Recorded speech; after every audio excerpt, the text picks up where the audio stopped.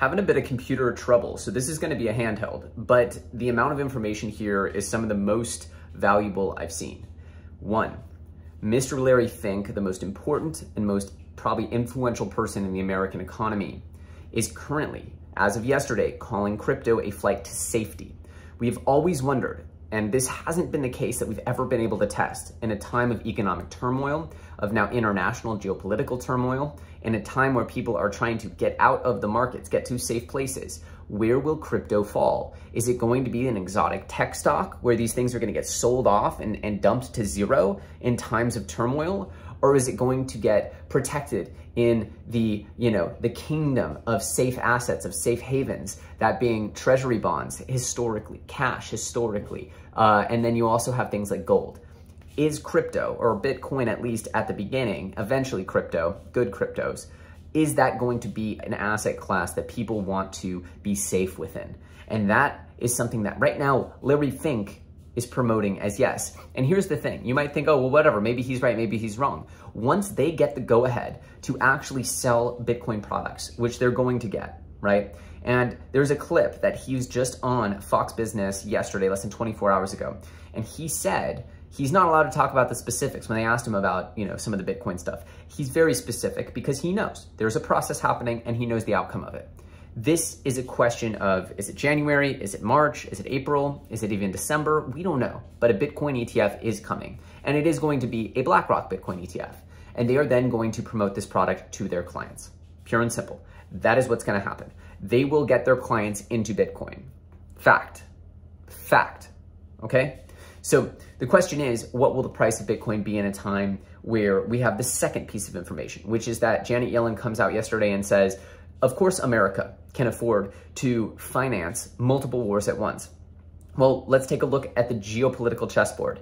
Uh, I did a video a few weeks ago or a week ago or so where I talked about how, you know, what I studied in college was actually Middle Eastern um, relationships, right? Middle Eastern politics. And um, I was on my way to law school. I didn't end up going to law school, though I was accepted with a full scholarship to one of the top 10 programs. Um, I ended up doing crypto instead, which I is, has been a much better bet. Um, but at the same time, the the what I studied and what I learned was that effectively a lot of the things happening in the Middle East were ex, uh, expressions of tensions between the United States and the Soviet Union during the Cold War. It was positioning. The you know Soviets were behind you know Iraq and Afghanistan. They even tried to invade Afghanistan, etc not, this isn't a history lesson. The point is, you have right now the same thing happening, where you have the Ukraine is now uh, sort of a proxy between the US and Russia. You now have the same sort of energy where, with Russia and China and these other nations that are on the other side of the geopolitical chessboard, taking the side of the countries that are against Israel. And then we can also see other conflicts with like Taiwan and China. Um, there's just a lot of conflicts that seem like they are moving from cold conflicts to hot conflicts across the, across the geopolitical spectrum. Now that is going to cost a lot of money. And effectively, the United States has a ton of debt compared to the amount of money that it produces, their GDP. Now, the problem here is that everyone expects for this to be an explosion, something that explodes, and that just makes it so that uh, the, you know, the situation in America goes down to zero or there's some kind of massive crack. Now, that might be the case. There, there might be an outlier chance. I don't think that that's going to happen, though, because in the end, countries, the business of running a country is effectively competitive with what else is out there, right? So if America and its economy is no longer desirable, then that would mean that money or that investors move to another more desirable economy, right? And that's just not the case. That doesn't exist. The biggest competitor out there is China, and they are certainly in trouble as there are bank runs happening right now in China. Compare, uh, and this is a result of their Evergrande collapse, of their real estate collapse that has been really picking up steam of late because they have other different companies besides Evergrande that are in trouble, right? they had essentially this era where they just financed every single real estate uh, development, and now there are cities of empty buildings getting demolished because it's cheaper to demolish them than to let them rot or whatever the heck. So what you see here is a reset in China where they tried to cut rates to zero and, and inject a ton of stimulus, and it didn't it didn't help. So this whole bank run thing happening in China seems like it's going to continue. And it makes it so that the biggest competitor to the American economy, the American way of life, is not really a competitor at all, right? The biggest competitor the American currency uh, is maybe this BRICS currency or maybe the, the Chinese yuan. Maybe you have other currencies, but not really, not really. So you have this facade, right? And you say, okay, well, the, Amer the Americans can't finance a war because of their ratio, the ratio of debt to GDP. Well, there's a few ways to fix that ratio. You either increase productivity uh, with new technologies or have population growth, just more people, more things being produced, or um, you also have, and by the way, maybe this is some reason that they're having this open border policy where people are just flooding into the United States. They just need more people to, and eventually maybe the logic is that that increases the economy and the GDP. But then there's also uh, another way, which is that you can create a ton of inflation, where effectively you debase the value of the dollar and then it's painful short term, but eventually prices just grow and wages grow too. So think about it this way. A sandwich shop is selling sandwiches for 10 bucks eventually, and by the way, a $10 sandwich used to be insanely expensive. Now it sounds normal. Um, now, eventually, it moves to 12, 15, and 20 bucks. They, they still sell 100 sandwiches a day, but instead of making 100 times 10 bucks, they make 100 times 20 bucks. So the GDP of that sandwich shop grows with inflation. And eventually, if you do this right, like they did after World War II and after other periods of high inflation in the United States, the GDP uh, to debt ratio normalizes and actually gets better into a better situation, right? So the actual ratio of the amount of money owed to the amount of money that is created or being or being generated uh, normalizes more. And I believe that that's the long-term hope for what would happen if the United States is to finance these wars. Short term, we're going to see a lot of inflation. Now, of course, throughout this whole period, if you could have something that was, you know, like property, gold, something that was actually going to hold its value versus the original dollar, well, that's the real trick. And that's where you get this narrative for Bitcoin, which is cool. We have this path over the course of maybe many years or several years to get it to the point where normal people can afford their lives working at a sandwich shop or whatever it might be in, in the United States, um, where right now it's really painful month to month.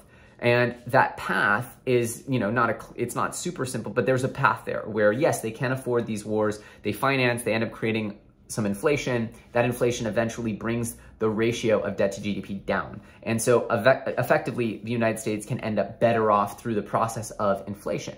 But the one thing that anyone would realize is that if you're just saving and hoarding US dollars, you're the one who pays the price. So the question is what happens here and how do you sort of predict around this? And of course, we see Bitcoin and its moment could be now. That doesn't mean that you have to have this apocalyptic scenario for the US economy. Sorry. Um, you don't need to necessarily have this apocalyptic moment for the US economy.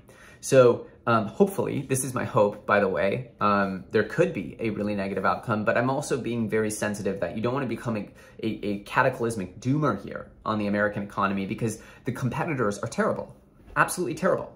Now, the things we have to ab absolutely make sure don't happen is the uh, implementation of a CBDC, which is certainly what they're trying to do, they want to do.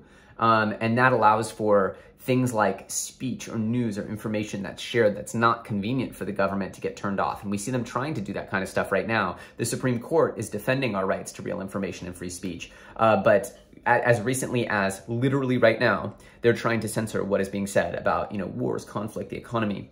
And in a world of a CBDC, that's really easy. They don't need to go to Facebook or Twitter. They just say, oh, we don't like this post off. You can't.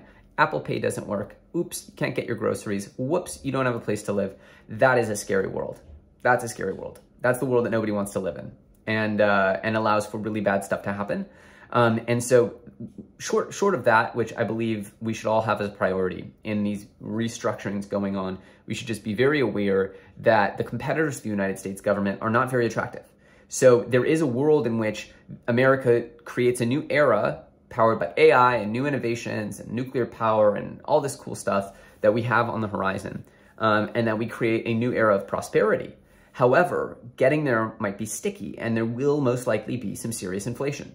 So understanding that hedging against that inflation is really, really important, and that's where this Bitcoin narrative comes in. And Larry Fink, Mr. Larry, coming in and saying that crypto is a flight to quality shows where he's planting his flag and building a narrative. Remember, the best investments aren't just things, they're stories. Think about Tesla, the story of Tesla, the, the, the far-reaching implications of what they're doing. Much more ex exciting than just how many cars they sold. It's about the batteries, the solar power, the transition of the human race, right?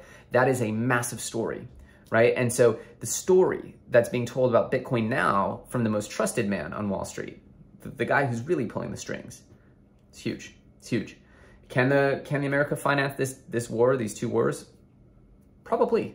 Probably. Actually, that's the thing is they probably can.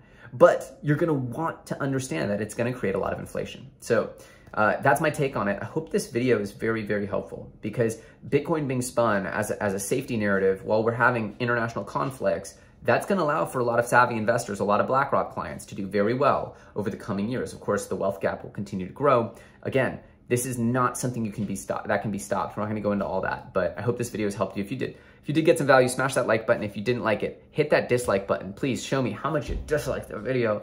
Uh, as always, I'm Ellio Trades. Uh, there's another video popping up. It's awesome, and I'll see you very soon in the next episode. Bye.